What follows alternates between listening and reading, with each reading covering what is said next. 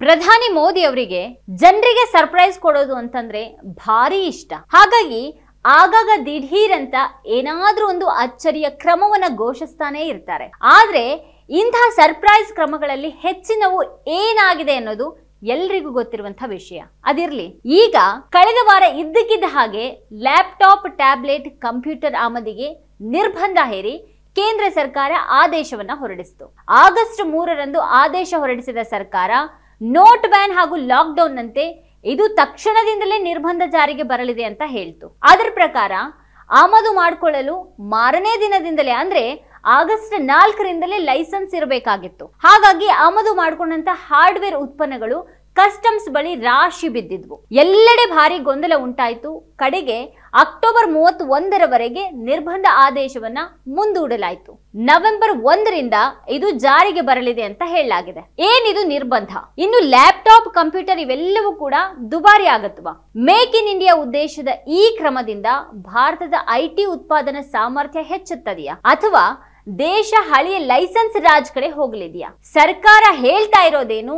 ವಾಸ್ತವ ಏನು? ಮೊದಲನೇದಾಗಿ ಏನಿದು ನಿರ್ಬಂಧ ಅಂತ ನೋಡೋದಾದ್ರೆ ಐ ಟಿ ಹಾರ್ಡ್ವೇರ್ಗಾಗಿ ಇತ್ತೀಚೆಗೆ ನವೀಕರಿಸಲಾದಂತಹ ಪ್ರೊಡಕ್ಷನ್ ಲಿಂಕ್ಡ್ ಇನ್ಸೆಂಟಿವ್ ಅಂದ್ರೆ ಪಿಎಲ್ಐ ಯೋಜನೆಯಡಿಯಲ್ಲಿ ದೇಶೀಯ ಉತ್ಪಾದನೆಯನ್ನ ಉತ್ತೇಜಿಸುವ ಗುರಿಯನ್ನ ಸರ್ಕಾರ ಹೊಂದಿದೆ. ಅದರ ಅಡಿಯಲ್ಲಿಯೇ ಈ ಆಮದು ನಿರ್ಬಂಧ ಕ್ರಮಕ್ಕೆ ಸರ್ಕಾರ ಮುಂದಾಗಿದೆ. ನಿರ್ಬಂಧ ಜಾರಿ ಆಗ್ತಾ ಇದ್ದಂತೆ ಲೈಸೆನ್ಸ್ ಇಲ್ಲದೆ laptop, tab all in one computer U S F F computer server ಇವೆಲ್ಲವನ್ನ ಆಮದು ಮಾಡ್ಕೊಳ್ಳೋ ಹಾಗಿಲ್ಲ ಅಂತ ವಿದೇಶ ವ್ಯಾಪಾರ ಮಹಾನಿರ್ದೇಶನಾಲಯ ಡಿಜಿಎಫ್ಟಿ ಹೇಳಿದೆ. ಮುಖ್ಯವಾಗಿ ದೇಶಿ ಉತ್ಪಾದನೆ ಹೆಚ್ಚಿಸುವುದು ಆಮದು ನಿರ್ಬಂಧದ ಉದ್ದೇಶ. ಈಗಾಗಲೇ ದೇಶದ ಒಟ್ಟಾರೆ ಎಲೆಕ್ಟ್ರಾನಿಕ್ಸ್ ಆಮದು ಇಪ್ಪತ್ತೇಳು ಪಾಯಿಂಟ್ ಆರು ಬಿಲಿಯನ್ ಡಾಲರ್ ಮುಟ್ಟಿದೆ. ಅಂಥ ಅವಲಂಬನೆಯನ್ನು ತಗ್ಗಿಸಿ ಸ್ಥಳೀಯ ಉತ್ಪಾದನೆಯನ್ನು ಹೆಚ್ಚಿಸುವುದು ಪ್ರೋತ್ಸಾಹ ಯೋಜನೆಗಳ ಮೂಲಕ ಪ್ರಬಲ ಎಲೆಕ್ಟ್ರಾನಿಕ್ಸ್ ಉತ್ಪಾದನಾ ನೆಲೆ ನಿರ್ಮಿಸುವುದು. ಎಲೆಕ್ಟ್ರಾನಿಕ್ಸ್ ಉತ್ಪಾದನೆಯಲ್ಲಿ ಸ್ವಾವಲಂಬನೆಯನ್ನ ಸಾಧಿಸುವುದು ಇದರ ಗುರಿ ಅಂತ ಹೇಳ್ತಿದೆ ಕೇಂದ್ರ.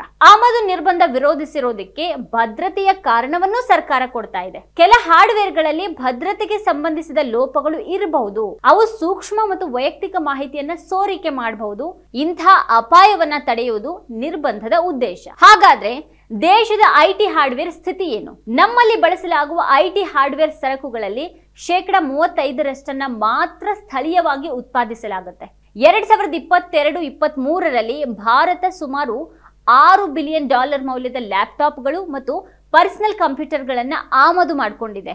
ಒಟ್ಟಾರೆ ಎಲೆಕ್ಟ್ರಾನಿಕ್ಸ್ ಆಮದು ಇಪ್ಪತ್ತೇಳು ಪಾಯಿಂಟ್ ಆರು ಬಿಲಿಯನ್ ಡಾಲರ್ ಮುಟ್ಟಿದೆ. ಭಾರತಕ್ಕೆ ಐಟಿ ಹಾರ್ಡ್ವೇರ್ ಪ್ರಮುಖವಾಗಿ ಆಮದಾಗೋದು ಎಲ್ಲಿಂದ? ಐಟಿ ಹಾರ್ಡ್ವೇರ್ ದೊಡ್ಡ ಪ್ರಮಾಣದಲ್ಲಿ ಆಮದಾಗುವುದು ಚೀನಾ ಕೊರಿಯಾದಂತಹ ದೇಶಗಳಿಂದ. ಶೇಕಡ ಎಪ್ಪತ್ತೇಳರಷ್ಟು ಐಟಿ ಹಾರ್ಡ್ವೇರ್ ಆಮದಾಗುವುದು ಚೀನಾದಿಂದ. ಎರಡ್ ಸಾವಿರದ ಇಪ್ಪತ್ತೆರಡರಲ್ಲಿ ಚೀನಾದೊಂದಿಗಿನ ಭಾರತದ ವ್ಯಾಪಾರ ಕೊರತೆ ಮೊದಲ ಬಾರಿಗೆ ನೂರು ಬಿಲಿಯನ್ ಡಾಲರ್ ದಾಟಿದೆ. Dell Acer Samsung L G Panasonic, Apple, Lenovo ಮತ್ತು ಹೆಚ್ ಪಿ ಭಾರತದ ಮಾರುಕಟ್ಟೆಯಲ್ಲಿ ಲ್ಯಾಪ್ಟಾಪ್ಗಳನ್ನ ಮಾರಾಟ ಮಾಡುವಂತಹ ಕೆಲವು ಪ್ರಮುಖ ಕಂಪನಿಗಳಾಗಿದ್ದು, ಹೆಚ್ಚಿನ ಭಾಗವನ್ನ ಚೀನಾದಂತಹ ದೇಶಗಳಿಂದಲೇ ಆಮದು ಮಾಡಿಕೊಳ್ಳುತ್ತವೆ. ಈಗ ಹೊಸ ನಿರ್ಬಂಧ ಹಾಕಿದ್ದು ಯಾಕೆ? ಆಮದನ್ನ ನಿಷೇಧಿಸುವುದು ಉದ್ದೇಶ ಅಲ್ಲ. ಬದಲಿಗೆ ಐಟಿ ಹಾರ್ಡ್ವೇರ್ ಆಮದಿನ ಮೇಲೆ ನಿಯಂತ್ರಣ ಹೇರುವುದಕ್ಕಾಗಿ ಲೈಸೆನ್ಸ್ ಪಡೆದಿರಬೇಕು ಎಂಬ ನಿಯಮ. ಆ ಉತ್ಪನ್ನಗಳನ್ನ ಆಮದು ಮಾಡಿಕೊಳ್ಳುವವರು ಇನ್ನು ಸರ್ಕಾರದ ಪರವಾನಗಿಯನ್ನ ಪಡೆಯಬೇಕಾಗತ್ತೆ. ಪರವಾನಗಿ ಪಡೆಯಲು ಮೊದಲಿನಿಂದಲೂ ಆಮದು ವಹಿವಾಟಿನಲ್ಲಿ ತೊಡಗಿಸಿಕೊಂಡವರಾಗಿರಬೇಕು. ವಿದೇಶ ವ್ಯಾಪಾರ ಮಹಾನಿರ್ದೇಶನಾಲಯ ಪೋರ್ಟಲ್ ಪರವಾನಗಿ ನೀಡುವ ಕೆಲಸವನ್ನ ಕೇವಲ ಐದೇ ನಿಮಿಷದಲ್ಲಿ ಪೂರೈಸುತ್ತೆ ಅಂತ ಕೇಂದ್ರ ಸರ್ಕಾರ ಹೇಳ್ತಾ ಇದೆ. ಇನ್ನೂ ಒಂದು ಮುಖ್ಯ ವಿಷಯ ಅಂತಂದ್ರೆ ಕೇವಲ ಒಂದು ಲ್ಯಾಪ್ಟಾಪ್, ಟ್ಯಾಬ್, ಪರ್ಸನಲ್ ಕಂಪ್ಯೂಟರ್ ಅಥವಾ ಯು ಎಫ್ ಎಫ್ ಕಂಪ್ಯೂಟರನ್ನು ಇ ಕಾಮರ್ಸ್ ವೇದಿಕೆಗಳಿಂದ ಅಂಚೆ ಅಥವಾ ಕೊರಿಯರ್ ಮೂಲಕ ವಿದೇಶದಿಂದ ತರಿಸಿಕೊಳ್ಳೋದಕ್ಕೆ ಪರವಾನಗಿ ಬೇಕಿಲ್ಲ. ಸದ್ಯಕ್ಕಂತೂ ಜಿ ಡಿ ಎಫ್ ಟಿ ಮಾರ್ಗಸೂಚಿಯ ಪ್ರಕಾರ ಅಕ್ಟೋಬರ್ ಮೂವತ್ತೊಂದರವರೆಗೆ ಪರವಾನಗಿ ಅಗತ್ಯ ಇಲ್ಲದೆ ಈ ಸಾಧನಗಳ ಆಮದನ್ನ ಮಾಡ್ಕೊಳ್ಬಹುದು. ಮತ್ತೆ ದೇಶ ಹಳೆಯ ಲೈಸೆನ್ಸ್ ರಾಜ್ ಹಾದಿ ಹಿಡಿಯಲಿದೆಯಾ? ಸಾವಿರದ ಒಂಬೈನೂರ ತೊಂಬತ್ತೊಂದಕ್ಕೂ ಮೊದಲು ಅಂದ್ರೆ ಆರ್ಥಿಕ ಉದಾರೀಕರಣದ ಮೊದಲಿದ್ದಂತಹ ಒಂದು ಲೈಸೆನ್ಸ್ ರಾಜ್ ದೇಶದ ಆರ್ಥಿಕತೆಯನ್ನೇ ಉಸಿರುಗಟ್ಟಿಸಿತ್ತು. ಲೈಸೆನ್ಸ್ ರಾಜ್ ವ್ಯವಸ್ಥೆಯನ್ನ ಕಿತ್ತು ಹಾಕಿದ ನಂತರ ದೇಶ ಬಹಳ ದೂರ ಸಾಗಿ ಬಂದಿದೆ. ಆದ್ರೆ ಈಗ ಮೂರು ದಶಕಗಳ ನಂತರ ಅದು ಪುನರಾವರ್ತನೆ ಆಗಲಿದೆಯಾ ಎಂಬ ಅನುಮಾನ, ಆತಂಕ ಶುರುವಾಗಿದೆ. ಇತರ ಕ್ಷೇತ್ರಗಳಲ್ಲಿಯೂ ಅದೇ ರೀತಿಯ ಪರವಾನಗಿ ಅಗತ್ಯವನ್ನ ಸರ್ಕಾರ ಹೇರತೊಡಗಿದೆ ಎಂಬ ಪ್ರಶ್ನೆಯೂ ಕಾಡುವಂತಾಗಿದೆ. ದೇಶದಲ್ಲಿ ಲೈಸೆನ್ಸ್ ರಾಜಸ್ಥಿತಿ ಯಾವ ತರದಾಗಿತ್ತು ಅಂತಂದ್ರೆ, ಲೈಸೆನ್ಸ್ ಪಡೆಯೋದಿಕ್ಕೆ ಅಧಿಕಾರಿಗಳ ಕಾಲಿಗೂ ಬೀಳಬೇಕಿತ್ತು. ಲೈಸೆನ್ಸ್ ರಾಜಸ್ಥಿತಿಗೆ ಮರಳಲಿದೆಯಾ ಎಂಬ ಅನುಮಾನವನ್ನ ಸರ್ಕಾರವೇನೋ ಸದ್ಯಕ್ಕೆ ಅಲ್ಲಗಳೆಯುತ್ತಿದೆ. ಇದು ವಿಶ್ವಾಸಾರ್ಹ ಮತ್ತು ಪರಿಶೀಲಿಸಬಹುದಾದಂತಹ ವ್ಯವಸ್ಥೆಗಳನ್ನ ಖಚಿತಪಡಿಸುತ್ತೆ ಅಂತ ಎಲೆಕ್ಟ್ರಾನಿಕ್ಸ್ ಮತ್ತು ಐಟಿ ರಾಜ್ಯ ಸಚಿವ ರಾಜು ಚಂದ್ರಶೇಖರ್ ಹೇಳಿದ್ದಾರೆ.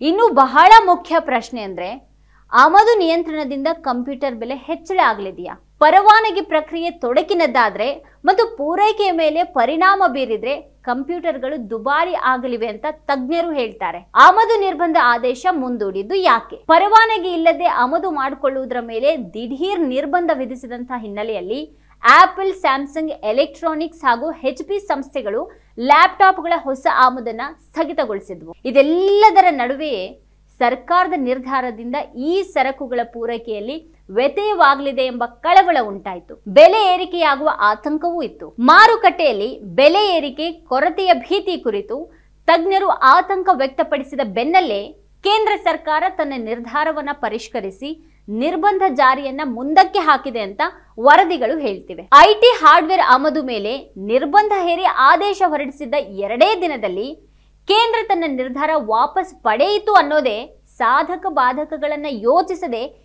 ಏಕಾಏಕಿ ನಿರ್ಧಾರ ತೆಗೆದುಕೊಳ್ಳುವ ತನ್ನ ಹಳೆ ಚಾಳಿಯನ್ನೇ ಅದು ಮುಂದುವರೆಸಿದೆ ಅಂತ ಮತ್ತೊಮ್ಮೆ ಸಾಬೀತುಪಡಿಸಿದೆ. ಇಂತಹದೊಂದು ನಿರ್ಧಾರ ಹೊರಬೀಳಲಿದೆ ಎಂಬ ಸುಳಿವು ಕೂಡ ಹಾರ್ಡ್ವೇರ್ ಮಾರುಕಟ್ಟೆಯಲ್ಲಿನ ಪ್ರಮುಖ ಕಂಪನಿಗಳಿಗೂ ಇರಲಿಲ್ಲ. ಇಂದು ಆದೇಶ ಹೊರಡಿಸಿ, ನಾಳೆಯಿಂದ ಲೈಸೆನ್ಸ್ ಅಗತ್ಯ ಇದೆ ಎನ್ನುವುದರ ಅಗತ್ಯ ಏನಿತ್ತು ಅನ್ನೋದೇ ಅರ್ಥವಾಗದಂತಹ ವಿಚಾರ. ಇದನ್ನೆಲ್ಲ ಒಂದು ತಮಾಷೆ ಅಂತ ಭಾವಿಸುತ್ತಾ ಈ ಸರ್ಕಾರ? ಆದೇಶ ಹೊರಡಿಸಿದ ತಕ್ಷಣ ಮಾರುಕಟ್ಟೆಯಲ್ಲಿ ಗೊಂದಲ ಸೃಷ್ಟಿಯಾಯಿತು. ಬೆಲೆ ಏರಿಕೆ ಆತಂಕನೂ ತಲೆದೂರಿತು. ಹೊರಡಿಸಿದಷ್ಟೇ ಆತರದಲ್ಲಿ ಆದೇಶ ಪರಿಷ್ಕರಿಸಿದ್ದು ಆಯಿತು. ಇನ್ನು ಸರ್ಕಾರ ಹೇಳುವ ಹಾಗೆ ಈ ನಿರ್ಧಾರದಿಂದ ಮೇಕ್ ಇನ್ ಇಂಡಿಯಾ ಯೋಜನೆ ಫಲಕಾರಿಯಾದಿತೆ ಈಗಾಗಲೇ ವರದಿಗಳಿರುವಂತೆ ಐಟಿ ಹಾರ್ಡ್ವೇರ್ಗಾಗಿ ಪಿಎಲ್ಐ ಯೋಜನೆ ಅಡಿಯಲ್ಲಿನ ಮೊದಲ ಆವೃತ್ತಿಗೆ ಹೇಳ್ಕೊಳ್ಳುವಂತಹ ಸ್ಪಂದನೆ ಸಿಕ್ಕಿಲ್ಲ.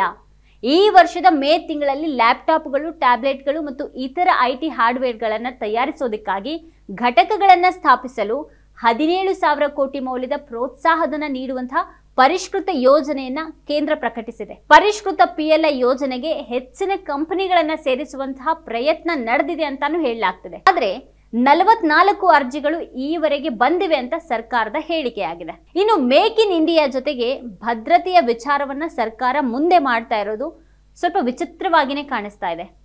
ಮೊನ್ನೆ ಮೊನ್ನೆವರೆಗೂ ಕಾಣಿಸಿದಂತಹ ಈ ಒಂದು ಭದ್ರತೆಯ ಆತಂಕ ಈಗ ಇದ್ದಕ್ಕಿದ್ದ ಹಾಗೆ ಯಾಕೆ ಎದ್ದಿತ್ತು? ಹೋಗ್ಲಿ.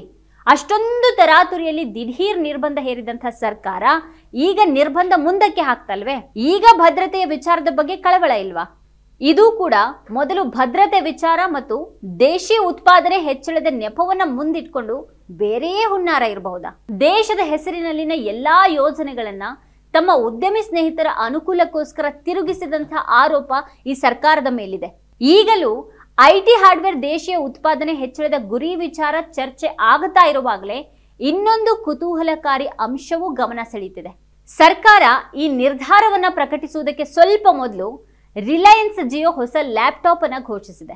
ಒಂದು ಕಡೆ ಮಾರುಕಟ್ಟೆಯಲ್ಲಿರುವವರೆಲ್ಲ ಸರ್ಕಾರದ ಈ ನಿರ್ಧಾರದಿಂದಾಗಿ ತತ್ತರಿಸುವಂತಾಗಿದ್ರೆ ಇದೇ ನಿರ್ಧಾರ ಸರ್ಕಾರದ ಉದ್ಯಮಿ ಮಿತ್ರರೊಬ್ಬರಿಗೆ ಅನುಕೂಲಕರವಾಗಿ ಒದಗಲಿದೆ ಅನ್ನೋದು ಖಚಿತವಾಗ್ತಿದೆ. ಯಾರಿಗೂ ಐಟಿ ಹಾರ್ಡ್ವೇರ್ ಆಮದು ನಿರ್ಬಂಧ ನಿರ್ಧಾರ ಹೊರಬೀಳಲಿದೆ ಅಂತ ಗೊತ್ತೇ ಇರದ ಹೊತ್ತಲ್ಲಿ ಜಿಯೋಗೆ ಮಾತ್ರ ಇದೆಲ್ಲವೂ ಗೊತ್ತಿತ್ತ. ಎಲ್ಲವನ್ನು ತಿಳಿದೇ ಮೊದಲು ಮಾರುಕಟ್ಟೆಯಲ್ಲಿ ನಿಲ್ಲಲು ಜಿಯೋ ಲ್ಯಾಪ್ಟಾಪ್ ಉತ್ಪಾದನೆಗೆ ಮುಂದಾಯ್ತಾ.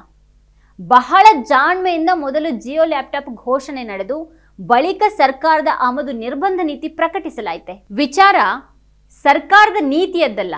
ಆದರೆ ಅದನ್ನ ಅನುಷ್ಠಾನಗೊಳಿಸುವ ರೀತಿ ಇದೆಯಲ್ಲ, ಅದನ್ನ ಕುರಿತದ್ದು. ಈ ದಿಢೀರ್ ನಿರ್ಧಾರದಿಂದ ಏನೇನು ಆಗಲಿದೆ ಅಂತ ಕಾದು ನೋಡೋಣ. ಇದೇ ಹೊತ್ತಿನ ವಿಶೇಷ ನೋಡ್ತಾ ಇರಿ ವಾರ್ತಾ ಭಾರತಿ. ನೀವಿನ್ನು ವಾರ್ತಾ ಭಾರತಿ ಯೂಟ್ಯೂಬ್ ಚಾನಲ್ಗೆ ಸಬ್ಸ್ಕ್ರೈಬ್ ಆಗಿಲ್ಲ ಅಂದ್ರೆ ಈ ಕೂಡಲೇ ಸಬ್ಸ್ಕ್ರೈಬ್ ಆಗಿ ಹಾಗೆ ಎಲ್ಲ ಪಕ್ಕದಲ್ಲಿರುವ ಬೆಲ್ಲೈಕೋನ ಪ್ರೆಸ್ ಮಾಡಿ.